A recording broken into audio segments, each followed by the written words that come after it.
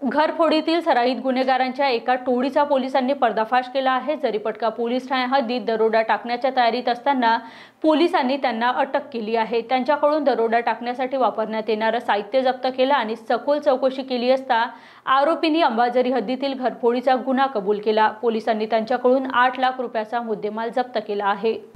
मिळालेल्या माहितीनुसार Jaripatka police patrolling करीत असताना पोलीस मुख्यालयाच्या बाजूला लॉनच्या मैदानामध्ये आरोपी हे दरोडा टाकण्याच्या तयारीत बसले होते.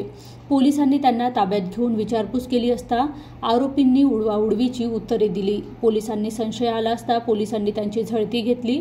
पोलिसांना आरोपीकडून दरोड्यात वापरणारे साहित्य सापडले. पोलिसांनी ते जप्त करून आरोपींना ताब्यात घेतले. पोलीस खाते दाखवताच आरोपींनी अंबाझरीत घरफोडी केल्याची कबुली दिली. पोलिसांनी त्यांच्याकडून आठ लाख रुपयाचा मुद्देमाल जप्त केला आहे. आरोपी हे घरफोडीतील सराईत गुन्हेगार असून त्यांच्यावर घरफोडीचे गुन्हे दाखल आहे.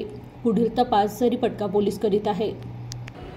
मामला असा आहे की एकवीस फेब्रुवारीच्या रात्रीला आमचे पी एस आय काईट साहेब आणि त्यांची डी बीची टीम रात्री दरम्यान पेट्रोलिंग करत असताना ग्रामीण पोलीस मुख्यालयाच्या बाजूला आदत लॉनच्या मैदानामध्ये काही दोन चार मुलं संशयितरित्या त्या ठिकाणी यांना दिसलेत. यांनी हे का बसलेले आहे याची खात्री केली. आजूबाजूला त्यांच्यावर लक्ष दिलं की हे निश्चित काहीतरी नियोजन करत आहे त्यांचं लक्ष चुकून आमची टीम त्यांच्याजवळ अंधाराचा फायदा घेऊन पोहोचली आणि त्या लोकांना शिथापीनं ताब्यात घेतले. ताब्यात घेऊन त्यांना विचारपूस केली त्यांचे प्रथम नाव विचारले. नावामध्ये त्यांनी एक प्रज्वल उर्फ पज्जू विशाल शेंडे कौशिक उर्फ चिंटू शंकर गेडाम मणिकुमार उर्फ मोगली हुमाजी रत्नम हर्ष उर्फ बॉबी आनंद मेसरा हे नावं सांगितले. या नावावरून आमच्या मंडळीने त्यांची झडती घेतली.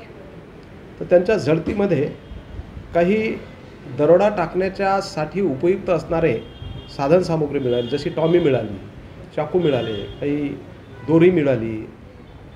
आणखी काही साहित्य त्यांच्याकडे मिळालं की जे दरोडा टाकण्यासाठी उपयोगात येतो आहे. अशा परिस्थितीवरून जेव्हा त्यांचं मोबाईलमधून त्यांनी यापूर्वीचं काही रेकॉर्ड आहे का हे पण पाहिलं.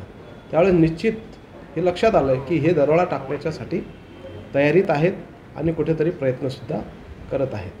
या आधारावरून त्यांनी रितसर त्यांना पुन्हा विचारणा केली आणि जेव्हा असं जाणवलं की हे निश्चित कुठेतरी दरोडा टाकताहेत अशा या सगळ्या प्रसंगावरून पोलिसांनी त्यांना ताब्यात घेतलं आहे.